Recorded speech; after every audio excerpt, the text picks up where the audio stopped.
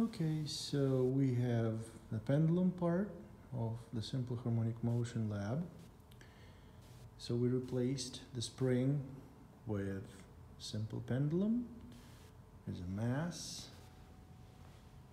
that is hanging on a string. The string is attached to holder.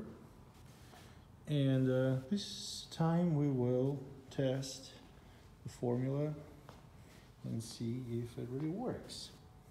So we derived a formula for the period of the simple pendulum, which says that the period is 2 pi times radical the length of the pendulum over the free fall acceleration. So if we measure the length and figure out the period, then using simple algebra, we can figure out the free fall acceleration for this particular planet.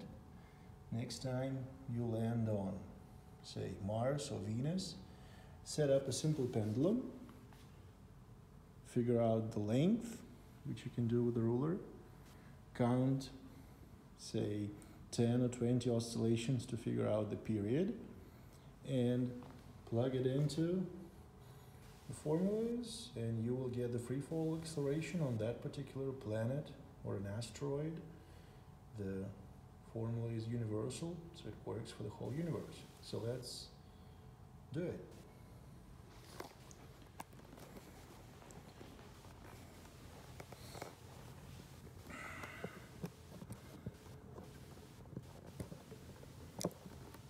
You can see the oscillations.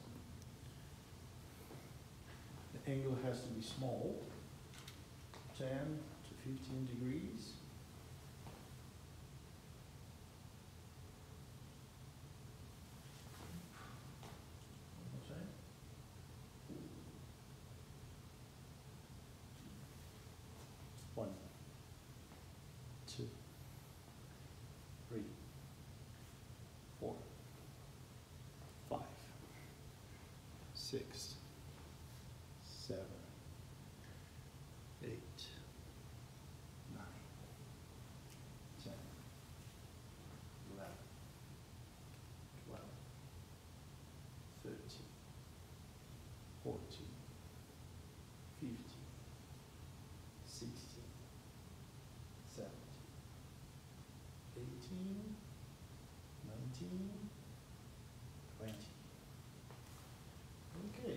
The time for 20 oscillations is 39 seconds and 15 fraction.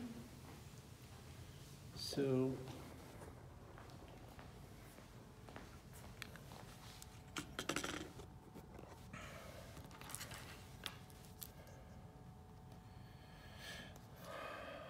Thirty-nine fifteen. Divide that by twenty. That would be the period.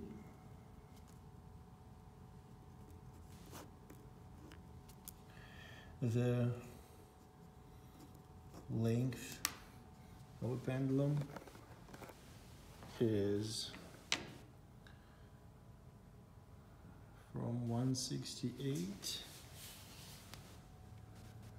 to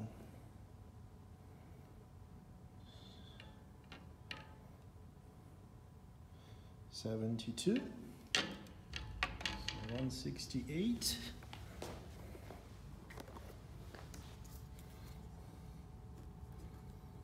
take away 72 and that was in centimeters. So convert to system international. Do the math. And convince yourself that the free fall acceleration on this particular planet is, I think you know the value. So this concludes the lab.